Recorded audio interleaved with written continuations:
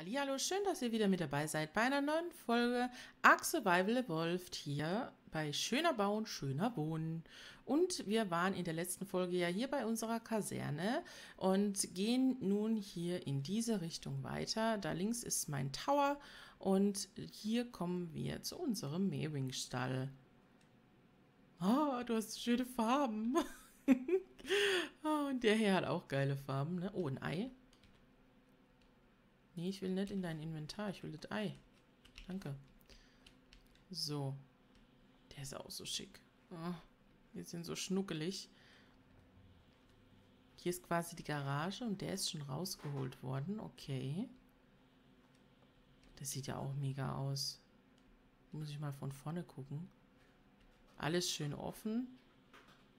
Nach vorne wirklich offen, rechts und links dann nur mit ähm, den Glasfenstern. Und wir haben hier, glaube ich, drei, oder? Ja, drei Stück haben wir. Oh, da unten steht auch noch eins. Ja, Katze, magst du auch mitmachen? So, die Katze wollte dann kurz gestreichelt werden. Jetzt können wir weitermachen hier im Video. Oh, die sind ja süß. Ist aber auch eine gute Idee, dass hier unten nochmal quasi so was runtergeht und die hier unten drin stehen. Und dann, man hat es schon gehört, kommen wir hier hinten zum nächsten Stall mit den Wölfen.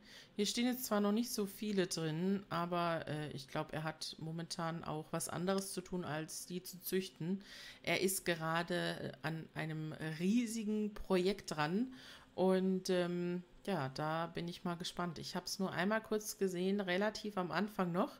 Und da bin ich jetzt echt gespannt, was da für ein Kunstwerk wieder rausgekommen ist. Hier vorne haben wir dann auch noch Wölfe. Die stehen dann hier draußen. Der ist auch so geil, ne? Nur die Füße müssen weg. Aber ansonsten das Blaue, das Schwarz und noch schwarze Füße oder weiße Füße, je nachdem. Sehr, sehr geil. Hier alles auch schön offen gehalten. Hier passt immer ein Pärchen rein. Da können wir das schön anhitschen.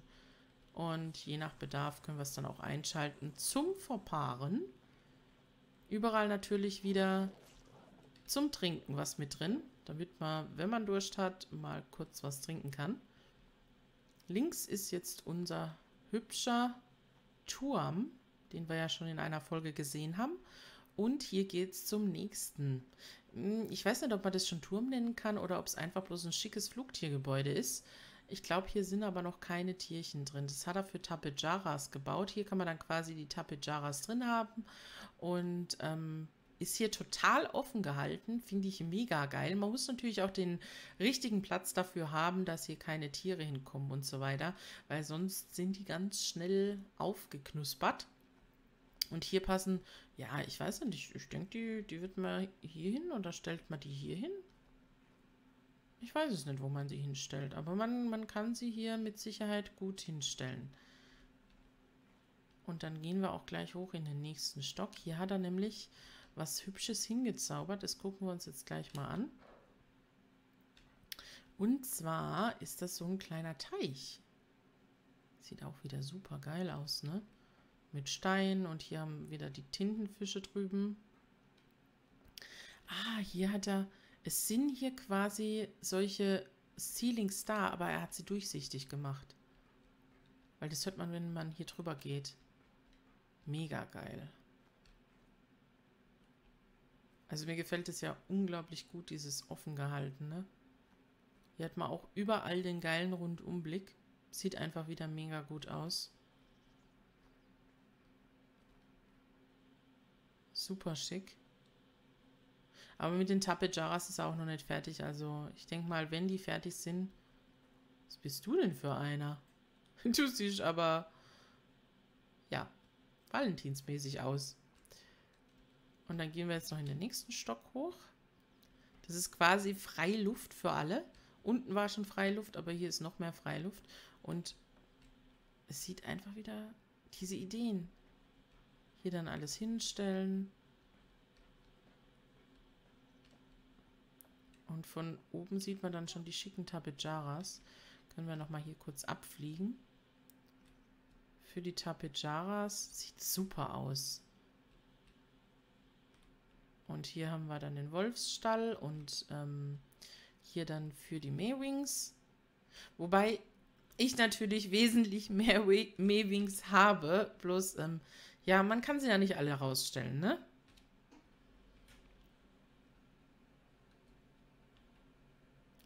Der nächste Stall ist unser Pferdestall. Man hört sie vielleicht schon wiehern im Hintergrund, bis wir da sind.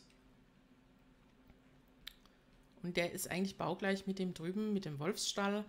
Und ähm, ja, hat auch wieder Licht, Trinken. Hier stehen schon ein paar mehr Pferdchen drin. Und ähm, das hier sind, glaube ich, R. Ja, das sind R-Equus. Und hier haben wir die ganz normalen und wir haben Einhörner.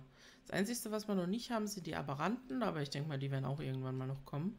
Und hier hinten haben wir quasi das Freigehege. Hier steht auch schon ein Einhorn und ein anderes Equus drin. Und ähm, ja, auch wieder ganz schlicht dekoriert, so wie es eigentlich in einem Stall ist. Und Platz ist hier eigentlich genug für die Pferde, die man so hat. Ich meine, die sind eigentlich auch nur so, dass man sie vielleicht am Anfang benutzt und dann vielleicht noch eines oder so.